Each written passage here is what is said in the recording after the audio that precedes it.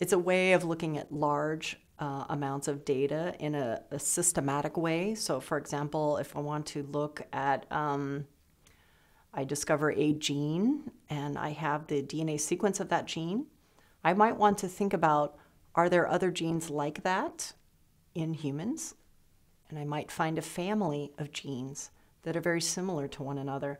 So how do I know that they're similar to one another? I can I can systematically compare their DNA sequences and look at similarity. Another way to use bioinformatics is to look at between species DNA similarity. So, for example, if you have a mouse who has an interesting gene, you might think, well, maybe this gene would be interesting in humans, and maybe this gene is involved in some disease process.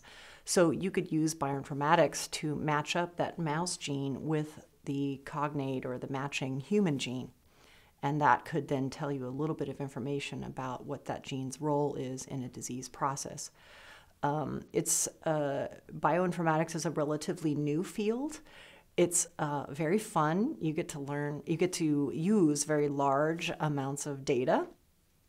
And um, it is uh, a highly um, desired, I should say, people with this area of expertise or with this expertise are uh, in demand right now for hire, both in academia and in companies. Um, so it's a it's a it's worth some consideration for a career.